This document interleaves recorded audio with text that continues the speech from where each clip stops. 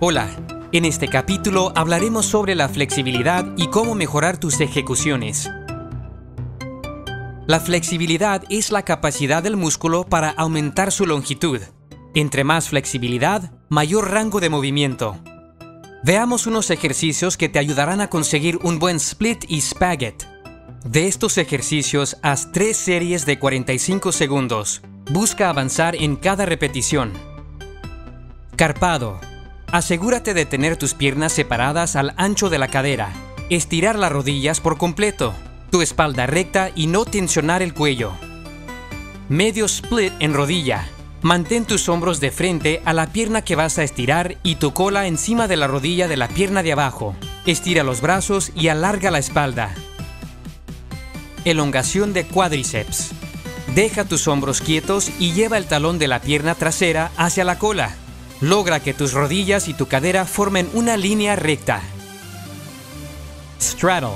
Con la mayor abertura lateral de tus piernas, lleva el pecho y la cabeza hacia el frente entre las piernas. No dobles rodillas y no hagas joroba. En los siguientes ejercicios haz tantas repeticiones como puedas, en tres series de 25 segundos. Insistencias en straddle. Con los brazos extendidos al lado de las orejas y la espalda recta, ve hacia tu pierna derecha, luego al frente entre las piernas y enseguida a la pierna izquierda y devuélvete. Insistencias en carpado. Desde la posición de sentado con la espalda recta, llega más allá de tus pies haciendo flexión de tobillo y regresa haciendo puntas. Patada acostada, frontal y lateral. Patea tu pierna desde el piso hacia tu pecho sin doblar la rodilla. No muevas la pierna del piso y deja la espalda quieta. En cada repetición, alterna hacer punta y hacer flexión. Luego de estos ejercicios, empiece a sostener el split y el spagat y ve avanzando en la abertura. Lo puedes hacer solo o con ayuda de alguien. Hay muchas variaciones para mejorar estas habilidades.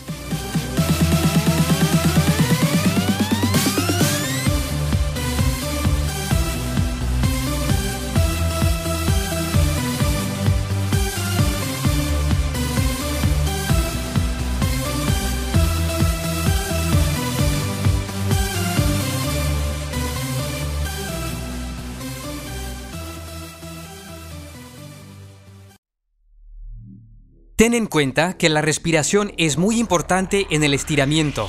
Inhalaciones y exhalaciones lentas y profundas son la mejor ayuda para dominar el dolor y avanzar más rápido. La mayoría de habilidades en cheerleading requieren buena elongación, entre las cuales podemos destacar heel stretch, arco y flecha, arabesque, scale, escorpión, aguja, salto front, salto ruso, Salto Pike.